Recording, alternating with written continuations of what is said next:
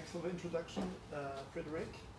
Okay, I'll be talking about standard APIs in the context of engineering, uh, what their impact is, um, and actually, Ruben already highlighted some of my earlier slides, so he stole my thunder already. You, you already have an idea of what I will be talking about. But I think, okay, I'll give a few more details about it. I think most often when we talk about OSLC, we hear about linking, syncing, data exchange. And I think the advantages of decoupling applications from data aren't that super clear. So I'll just try to explain what that means, especially for new applications that can that will be built. I'll just say quickly something about myself. I have a background in aerospace engineering, and it's during my PhD that I worked on data integration. My supervisor wanted me to apply AI in, in engineering so that based on requirements, we would automatically reconfigure plenty of different simulation models to find the optimal architecture. Um, I found the topic super interesting. I spent six years working on this, but I quickly found out that my approach would not scale. I had to work with many different data sources, and I had to, of course, access the data and change the data in different data sources. And that's where I noticed, uh-oh, I have a real problem. I need to use standards as much as possible. And at the time, uh, I was thinking about standardizing how I would describe the system architecture, the, the, the model which would contain all the information exchanged across the disciplines. And at that time, SysML didn't yet exist, so I, I, I, I, used UML. That did reduce, of course, the integration effort, but it didn't solve the complete problem. Um, I continued with this approach then during my postdoc for another two years. And it's only after my academic career that I actually was lucky in a consulting project to hear about OSLC. And that's where I realized, oh, we shouldn't just focus on standardizing the data, but it's the APIs that can also be standardized. Um, I'll quickly try to describe the challenges in collaboration in engineering, try to make, maybe make the business case for uh, why it's an important topic. I'll quickly talk about standard APIs, applications decoupled from data, and I'll finish off by uh, talking about graphs, why graphs are important, especially in a world of connected data. So these are a few quotes from the head of knowledge management at NASA. NASA, one of the best engineering organizations in the world, really respected. They use all the possible common off-the-shelf tools, all the standards that exist. And nevertheless, if you look at the quotes, you'll see that these are quite serious problems. 46% uh, of workers can't find the information about half the time. 54% of decisions are made with inconsistent or incomplete or inadequate information. So this means that all these collaboration troubles, they need to be overcome. They, they, you need to overcome them with additional effort. It means that engineers need to put in an extra effort to find the information, to get the right information, to make sure that it's accurate, it's the right version. Instead of focusing really on, on design and on, on, on doing what they like to do and creating new ideas, creating, sorry, coming up with new ideas and, and new designs.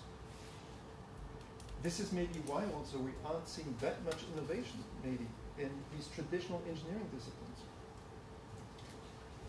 Engineering is just not obviously uh, unidisciplinary activity. Everybody knows it's multidisciplinary. Um, and these activities can't be uh, done independently. There are many overlaps between the different activities. And you have plenty of different relationships. Uh, logical relationships, such as a requirement satisfied or uh, verified by a test plan. You have mathematical relationships, such as, okay, this parameter value needs to be equal in this other model you have semantic correspondences so that you need to know that, okay, if I have a component here in the architecture model, I'm going to have a part in the geometric model. Um, and all these relationships, they make sure that at the end of the day, you have models that are consistent and that describe the same system. Now, engineering is complex because all these cross-cutting relationships are in our minds. We're not capturing them digitally we're not capturing them in, in our computer in a way that we can manage them more efficiently. We have for the individual disciplines, we have plenty of common off-the-shelf tools, but when it comes to managing these relationships, the cross-cutting ones, actually we don't have good tools right now. I'll, this is an old example, and I'm just going to, quickly go over it. Um, this is an SUV, which typically has a higher center of gravity than most vehicles, and therefore also a higher risk of doing a rollover. And therefore, the, uh, the government agencies, they release some requirements. For example, that the center of gravity cannot be too high compared to the vehicle width. So in this, this position of the center of gravity would be computed in the geometric model, and you would have relationships then going from the requirement to the geometric model. There's another requirement that says that if the vehicle does a quick left and right turn, it's called a fishhook maneuver, that the vehicle cannot lose contact with the ground by more than two, two wheels. And, uh, and so that simulation model, it needs to uh, know the information from the geometric model it needs to be tied to a test plan related to the requirement. So we see here the, the digital thread spanning multiple uh, disciplines. Actually, I remember that when I was studying, a big car manufacturer failed that, this maneuver. I don't know if you remember. Uh, oh, you do? All right, there we go. what are the cross-cutting concerns that are really, you know, complicated for engineers? Um, it, uh, it all comes down to traceability, of course. As soon as you have traceability, it becomes easier to address the cross-cutting concerns.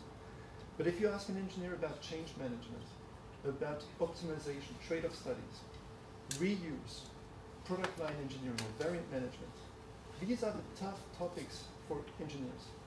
They won't be able to give you a very quick answer, an easy answer, because it's a cross-disciplinary activity. It requires access to multiple models, multiple data sources. Your common off-the-shelf solution right now will provide you a limited integration capability. It's going to provide you an integration between selected applications, a limited set of applications. It's not bad, it's good, all right. But in engineering, we have 2,000 plus applications. So these common, common off-the-shelf solutions that provide integration maybe between 20, maximum 20, 30 applications, it's, it's a tiny bit. It's, a, it's, it's, it's not, it doesn't cover the, the solution that we need. Um, therefore, we have integration solutions called ALM, PLM, Solu uh, Simulation Data Process Management, or SPDM, I, I forgot the, the acronyms. There are so many acronyms we now have a lot of new data that we need to manage, all the sensor data that we're collecting in IoT platforms. So I really think that we have to think beyond common off-the-shelf solutions. We have to think of something that can tie all these common off-the-shelf solutions so that we can finally connect all these disciplines. There are two trends that are going to increase the need for uh, traceability. One of them is IoT. We're going to, we are already collecting more data from systems that are in operation, and we need to make sense out of this data. There are plenty of data scientists. They want to access the data, but they can only make sense out of it if the data is connected to the activities that are related to the sensor data. So the sensor data is going to, for example, measure uh, the behavior of a part of your system but we need to know how the part was manufactured, where, in which manufacturing plant, which workstation, what design principles were used for that part, so that we can tie all this together. It's only with these feedback loops that then data scientists, they can apply the latest machine learning algorithms and tell you, well, we identify patterns here, and clearly we can improve our design process or our manufacturing process. If you ask manufacturers of autonomous vehicles how safe vehicles are, they will tell you, well, for example, one will tell you, our car drives 10 million miles without accidents. That's their measure right now of safety. It's obviously not enough because we don't know if the 10 million miles were driven around the corner or if they were dri driven in rainy uh, conditions with bad vision, with one sub subsystem failing. We have actually millions of scenarios to cover. And we don't have that traceability right now between the experienced autonomous vehicle behavior and the scenarios that need to be satisfied. We need this connectivity so that we are 100% sure that we can say, okay, 80% of the scenarios have been covered by this experienced autonomous vehicle. We are treating data from dis different disciplines as if it's always something special. And we are accepting the fact that data is always presented using different. And we just simply cannot access simply the data because we, we don't have this standard API, standard interface. We live in a world where right now we're creating plenty of new solutions based on data. And it's a bit like in the, during the electrical revolution, we were creating plenty of electric devices that, had, that needed to access electric power. So for electric power, we have standard outlets super easy. We understand that, okay, there are a few aspects of electricity like amplitude, frequency, and that's it. And actually for data, it's very similar. Data has just some very simple aspects that we can also standardize. What do you do with data? You create it, you read it, you update it, you delete it. These are basic operations. We don't need a different API just to do always the same things. What is so special about data? Data has sometimes versions, especially in engineering, and we're often interested, especially in, in, engineering, to know about the updates. What has changed since yesterday? What uh, is the new data in the data set? What is, for example, the new IoT data that we collected last week? All these things are really standard. I don't know why we need to treat all the data as something fancy. And we heard the talk yesterday of Mike Amundsen about hypermedia APIs, where it's important that when we use an API, we get a machine-readable description back that allows the client to discover the options and the client can be smart and be actually independent of specific endpoint URLs. So these principles are actually reflected for the basic services, for the basic discovery uh, of these services, for the product services, they're reflected in the OSLC specification. So you have a main entry point, um, where you can find out, well, what does this API offer? And you will have access to service provider resources, giving you a list of services, telling you what shape of data is expected or is returned. So you can find out on your own uh, what the API gives you without looking at a human readable documentation, just based on the machine readable description of the API. Now, I'm sure we can go further in this, this direction and, and, and uh, uh, come up with much more, I think, um, uh, mature and, and, and uh, uh, concepts support hypermedia, but very simple hypermedia concepts, just to discover the basic CRUD services, that's already extremely helpful. In OSLC version 3, we are building on top of W3C LDP. So I think this is great because we're getting some new friends from the web community and we're aligned with them. And I think it's really exciting to see what we could do together with Solid. Um, I think the ideas are very similar, and, and I, get, I will get to that in a second. APIs, most APIs are just there to return your data, and that's it. But we in engineering, we want to connect the data. And connecting data is means that we need to know the identifiers of data. It's like if I want to call you, I need to know your unique phone number.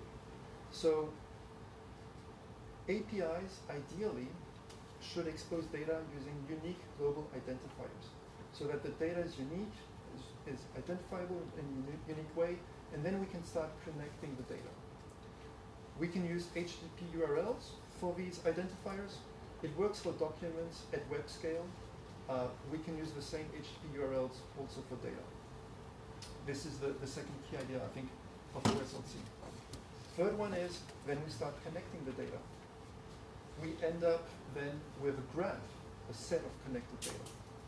Very often I get asked, where are these links saved? I personally think that the links should be accessible also through a standard API. So we have the original data, we have the additional links. All of that should be accessible through a standard API for a very important reason, so that we can then choose what to do with these links and the data. we can choose what to do if we have if we have this decoupling between applications and data. For example, imagine you're a data scientist. You're you have you're familiar with a, a great machine learning algorithm, and you want to apply it on the IoT data.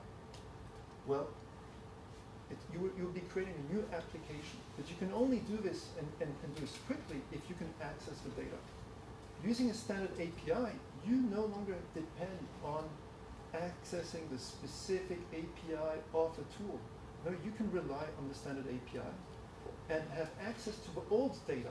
This is very important. You can access existing old data, but create new applications that work with the old data. And um, so this, this decoupling really lowers the barrier of entry for the development of new applications. And I think many traditional engineering organizations, they actually, actually see opportunities in IoT to offer new services to their clients. But to offer these new revenue-making services, this is a big business. Independent of which industry you're in, you, you can offer many new subscription services to your clients. It only works if you can easily access your old data and combine it, sorry, with the new data. Think about Google, for example. Google is an example where the application is decoupled from the documents. The documents are everywhere in the world, accessible through a standard interface, and we have competition between different search engines. We benefit from this competition. Bing, Yahoo, Google, and others, they compete at an equal playing field. This is what we also would need in engineering. If you are searching for data, if you want to visualize data, you don't want to have to rely on one single vendor. You ideally would like the best solution for this specific job. And this is possible if we have, just as we have for documents on the web, if we have a standard interface for data. We have created for cli- clients these mashup applications, these applications that consume data from different sources and offer some kind of additional value. And they're actually very simple to realize. Most applications that I've heard of, and it makes totally sense, they consume the data and they put it in a graph database. And they offer a knowledge graph. Makes total sense. But we can also take the data and the links and put it, for example, in Elasticsearch, a different kind of database that's going to index the data differently so that we can do a full text search very easily. Full text search is like in Google. So you type a few keywords, or in Amazon, where you type keywords and you say, I'm only interested in, I don't know, this product of this brand and with these characteristics. Right now in engineering, your search capabilities are limited to the scope of your application. You can only look within one PLM system, one requirements management application. It's terrible. It limits, of course, your collaboration opportunities. Obviously, you can create new consolidated views. If it's important to see the data from multiple PLM systems in one view, it's possible. It's, it's very easy to achieve. I'm going to now uh, basically finish off with this. Oh, you have a question? Just on this standard API, I think a few slides before you were showing like API 1 to 3 and standard API. I'm not sure if, uh, I think you showed with the arrows like bidirectional, but I'm not sure if you actually spoke that for, for, for everything that you discussed to work, that API needs to work both ways. Not only the tool, like the test or simulation tool needs to be able to talk that um, some standard API, but also other tools need to be able to talk to those applications through the same API, right? Uh, yeah, sorry, um, um, can you rephrase? I'm I'm not sure I understood, sorry. So I think the important point that maybe you didn't articulate explicitly is that not only for the applications that are beneath, you need to be able to talk uh, with that standard API, but also everything else in this ecosystem Oh, yes. needs oh. to be able to consume oh, so you're saying, like, if we create like A a two-way street. a mashup In a way. application on top of these local data sets, that we also then offer a standard API to some, to better share these new uh, added value, for example. Exactly. Yes, that is indeed possible, yes, exactly. It's a, it's a reflective way, I think, of, of thinking about it, yeah.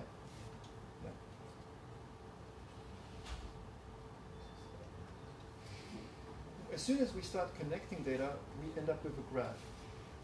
And I think for link management, for queries against uh, graphs, we, we, we obviously are putting the data in a graph database. But we've heard that there are also a few challenges regarding performance, for example, when we have to do version management on the graphs.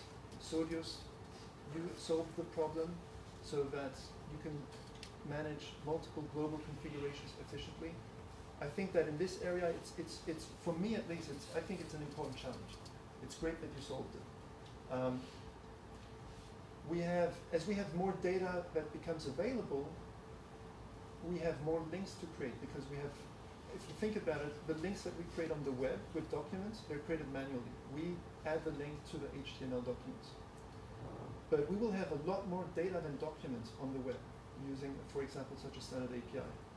And manually creating all these links is very time consuming, especially as when new data becomes available, some links become suspect or broken. They should actually be removed. So we actually, ideally, need to use latest AI techniques to predict which links should be there or not, based on the existing links that we have. So we are, for example, working, uh, we're applying deep learning for this link prediction task. I think solving these, solving these challenges will make working with graphs or with connected data much easier. Um, another challenge that I think nobody has solved is if we start linking data across organizations, so linking data that is owned by multiple organizations. With data, we always have to manage the access rights. Now, if it's data owned by one organization, we can have one central data access management system, like an LDAP system, to, to manage the data access rights. But as soon as we we want to manage these access rights for data owned by multiple organizations, and multiple organizations need to be able to review the, the access rights that have been defined, we need a distributed application.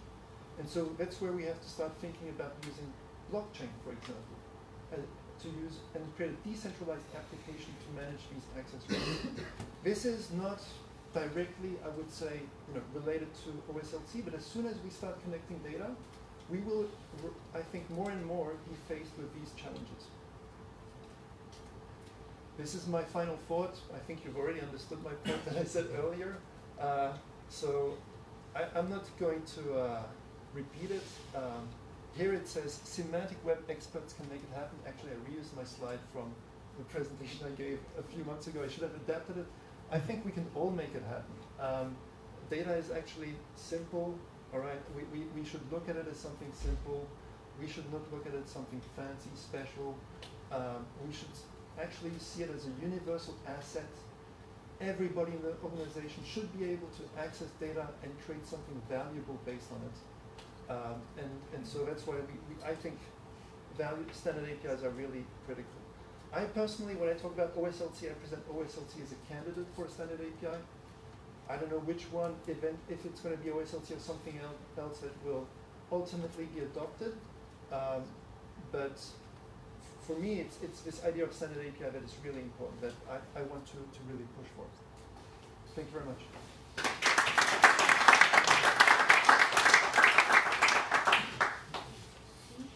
Questions? A small one. To de-scare people from blockchain. So there is this enterprise standard SAML, right? Oh, I don't know it. Uh, so it's an authentication standard which can be used, uh, authentication and authorization Mhm. standard uh, instead of LDAP across organizations. Oh, oh, there is. Um, okay. So actually, a lot of enterprises are using it. Oh, Um, okay. for example, if I want to sign uh, into the IEEE library, uh, KTH has a SAML provider, uh, and many other enterprises, not just academia. IEEE has a consumer, um, and I say I'm from KTH, it redirects me to SAML server on the enterprise on premise. It returns to the service uh, the uh, permissions and information about me, like that I'm a faculty member or not. Um, so there is an enterprise solution to the problem you described, which does not require blockchain. So Oh, all right. Okay. it's just to say that you can apply everything that Axel has said without being scared that you need to of blockchain development. Okay, interesting. All right, all right. Thanks. Mike? Yeah, to sort of build on that, SAML is a really good identity provider. Mm-hmm. Uh, it's not such a uh, successful distributed access control provider. And there are some organizations working uh, to try to create better distributed access control. And there's a pattern called web token, which is starting to do some of this. So a SAML provider can actually issue tokens that uh, actually are the convergence of the service I'm looking for and the identity I'm using, and you can apply that, and that can also be distributed. So one of the things that I think will happen is the way we use DNS servers today to actually find a server, we now, because of SAML and OAuth and other things, SAML and OAuth servers to find an identity, and eventually we'll be able to use distributed access control servers that will be able to apply for access control. So we have the bits in place, but the hard work of building them and using them and normalizing them needs to be done. And this is another area where standards and standard ways of speaking to each other, of normalizing, would allow people to be just as creative or unique as they want in the features they offer, but yet still standard in the way they, they speak to each other. So there, there's the beginning of each of these, and uh, I think Solid's also working. You, you already have, there's, what is the one that Solid uses for access control? Um, well, ACL. It's Web ACL, that's right, there's another one. Oh, So that, and that's even more specific than Web Tokens. Web Tokens is just a okay. avenue, but Web ACL specifically is access controls for, uh, Great, great. I, I was certain that I would learn something. I'm not sure we understand, I mean, what do you mean by uh, standardized API as opposed to uh, standardized data models, for instance? Well, the API exposes data that can conform to a data model. And so these are two different things. For example, our phone connection, the, the, way that the, the, the standard that so that I can call you, that's I would call let's think about it as a standard API. The language in which we talk, French, English, that you could say that's the, the data model. But this is already standardized, for instance, uh, I mean, we use like HTTP in, in the case of uh, OSLC, for instance. We use HTTP, we use REST services, so this is already standardized. Yeah, I think OSLC is a great candidate actually to have a standard API, but uh, we, it's not yet adopted. I think, not not at large scale, and we're also not thinking about um, so much about. We're not yet. There are other industries like healthcare, financial industry, which could also, you know, be thinking about a standard API, and possibly even benefit from OSLC. So, uh, I just want to. Yeah. to But just I uh, to would caution you against using REST. I mean, people like to say we use HTTP REST, uh, but many people just use HTTP, and the degree to which they actually adopt REST is very uncertain. And I think that at REST today, the state of practice speaking, that's where the standardization breaks. So at the point of Mm. REST. yes. But so, I mean, like we, we both come from an engineering background where uh, engineers uh, loved to uh, define those huge mega models, meta models, you know, and uh, we, I mean, especially in Germany. So now you're, s- you know, I mean, look at AutoSAR, you know, AutoSAR, AutoSAR, for instance, and yeah, yeah. But and then no, and I, and I completely agree with you. So now you are saying we should not focus on standardizing those No. big meta models because it doesn't work. They're important. We- They're important. They're very relevant. All Yeah, these data yeah, models are, yeah. are great, but we it's not enough, uh, and and we should focus our attention just on them. Yeah. Okay, but so because when I hear you, I have the feelings that uh, we should not standardize any more data models, but more like going a bit uh, at a lower level. But uh, actually, we have to standardize still at, at, at two levels because you, you talk about standardization of data models to some extent, or at least Yes. life cycle data model, not product data model. When you talk about links between the artifacts, it's, it's still a way to standardize like very basic uh, information models. So we still we still need this level of standardization as well. Yeah, yeah, Yes, yeah. yeah. I mean, I, I have been active in the OMG. I've seen how standardization efforts go, and um, I've seen how you know getting consensus on some simple things sometimes it just takes time. Mm. So these efforts are very important, but you know, it's not always super efficient, and um, so I wouldn't put all my eggs in that basket. Uh, Mhm. that's that's an important thing. Yeah, yeah, but it's like kind of two, Yeah. two directions. Any other questions before we switch? So, thank you again, Axel.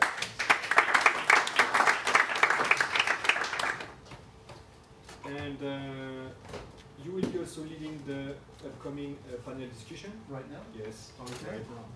Yes. Uh, and we have like, yes, I think we're going to bring some chairs. Yes. And then, uh, Axel, a question for you because uh, in the agenda you want to invite someone who is not here. So we have only,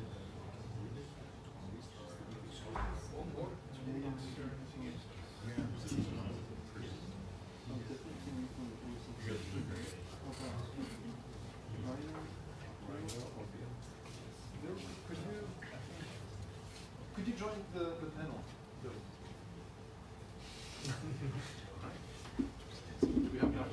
We someone from the steering board committee. He'll do. No, I'll just be asking questions. Okay, great. So, um, Axel, all right. Uh, you prefer to sit or to stand? Sit up. Sit up. It's okay? All right. So, in the last month, that Solid become, became more prominent. Um, I personally learned about, more about hypermedia as well. And I think that for many that are involved in OSLC, we, we quickly realize that, hey, there are some ideas that are very similar in these other communities.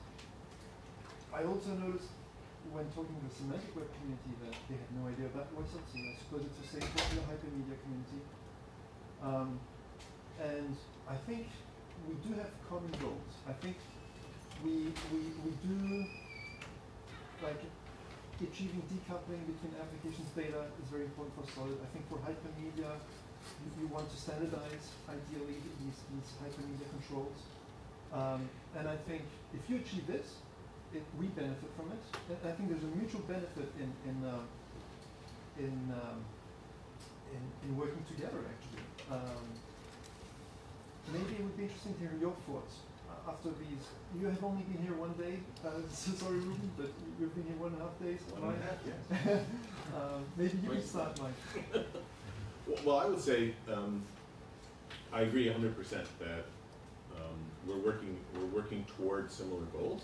I forget who I was speaking with over lunch, but I think one of the, one of the things I'm often reminded of is if we, if we focus on this, on the problem space, we find we all have similar problems. If I only focus on my solution, then I think you people are wrong. You know, I think we have to focus on the problem space. What are the business cases? What are the things we're trying to solve? So I think that's very, uh, uh, very easy to see as, as we spend time together, that we're focusing on the same challenges. We are trying to get past some of the same situations. So I think that's very, very good. I think another thing that, that I've learned over, over so many years is that um, it's really important to say, ah, you know, that's a really good way to solve that particular part of the problem. Let me see if I can borrow that. So I think one of the things I'm always interested in is uh, patterns and technologies and efforts that are uh, not just agnostic, but are also very collective. Oh, we can use that format, we can use that model, we can use that language, right? Rather than saying, we all need to be using the tools that we have, kind of deal. So, so that's also very encouraging as, I- as I sit here as well. When it comes down to it, what I'm, what I focus on just because of my, my area or my, you know, my window, my view, my view on the data, I'm just the one app, right? is I'm always interested in how we can improve the way we communicate. That's why the hypermedia thing is very, very interesting to me, because it's a way that we can think about communicating to each other. When you use your phone example, I, I love the phone example because there actually are several levels, levels in that phone example, right? There's the electronics, right? And there's the actual uh, uh, applying electronics to phones, and then there's actually the process of being able to find an address and dial an address and call an address. And then there's the actual conversation. We have to agree, at least at some level, that we're both going to speak uh, some language. And then there's the information pass. So every one of those is an excellent opportunity, uh, and every one of those has to have some kind of negotiated element. we're gonna negotiate the address, we're gonna negotiate whether it's gonna be a wireless phone or a wired phone or a landline phone or the language we're gonna use. So each one of those are opportunities. The comment about, uh, should we focus less on models and more on that? No, because we need each one. So I'm very encouraged by all of that and, and just would love to see more discussion at each level. Make it easy for vendors to participate, make it easy for researchers to advance the space. And often it's by making those levels clear and then talking about the relationships between them. That's me. Thanks. Ruben? Yeah, lots of um, similar thoughts, um, maybe slightly different or phrased a different way. So, starting point is that uh, to me, these things are about decentralization. Not decentralization in a blockchain sense, but in the sense that we don't depend on some central party to do things, right? So we're independent of central parties in that sense. And there was the decentralized web summit in San Francisco beginning of August, and there were lots of startups doing decentralized stuff. And it was very intriguing to me because what was so ironic was that the um, decentralized community was working in a very decentralized way. We all were indeed looking at the same problems, but with slightly different solutions, so we're not compatible with each other. But hey, we're doing our own thing, right? Um, so that's interesting. Also, from a communication point on a different level, is that it took a lot of effort to communicate among each other to see that how are we actually different.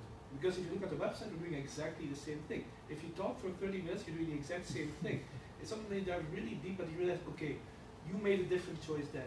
And the frustrating thing is that some of these choices in essence are arbitrary. Like, okay, you have to make some choice, and we chose this, you chose that. Well, too bad, we're compatible. We could have chosen the same thing. And this brings me to what always comes back is um, the, the paradox of, of freedom. And sense that um,